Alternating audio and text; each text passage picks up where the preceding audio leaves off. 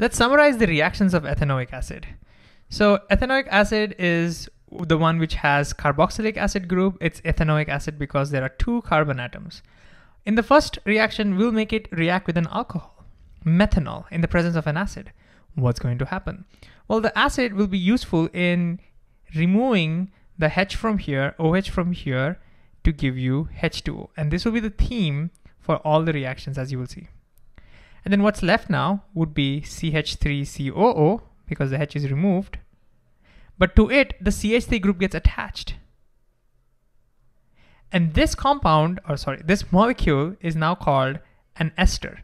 An ester is any molecule in which you have a COO group and that is a, on both either sides you have some carbon chains. Another, you know, on both sides you can have long carbon chains if you want. An ester is a sweet smelling compound and therefore it is useful in your uh, perfumes, for example.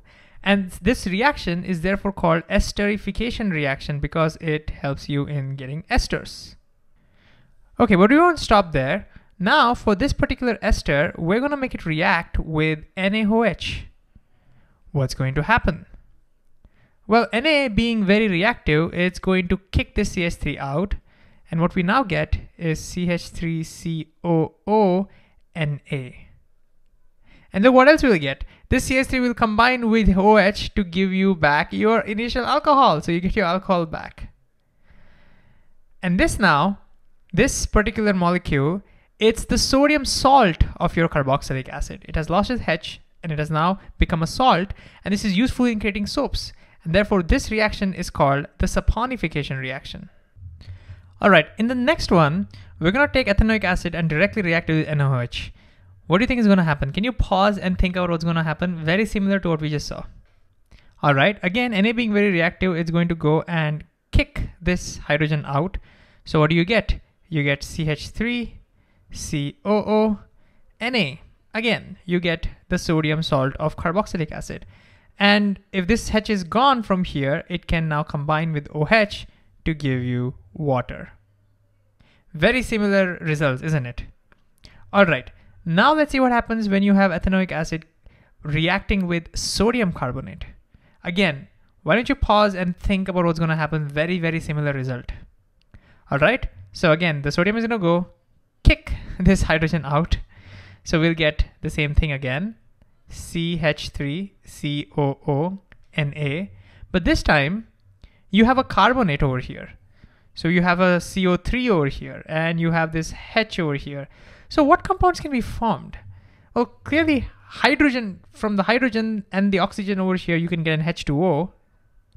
But there's a carbon. What is a common uh, molecule that you would get from carbon?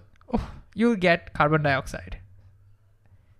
And carbon dioxide will be released. Now, of course, this equation is not very balanced the main reason it's not balanced is because there are two of Na over here and there's only one Na over here. So I can just like multiply this by two. Now if I multiply this by two, I need to multiply this by two. And I think everything is now balanced. You can check that, but we can now go to the last reaction. What happens when you have ethanoic acid reacting with sodium bicarbonate? Again, very similar story, pause and try. All right, so Na is going to kick this hydrogen out. So you get CH3, COO, Na. And what do we get? Well, again, we have a H that comes out. We have a H here. Um, you can definitely get a H2O. And again, since there's a C over there, I can guess there's going to be carbon dioxide released as well. This time, the equation is actually balanced the H, H, and the O from here gives you a H2O, and the CO2 remains, and everything looks nice and balanced.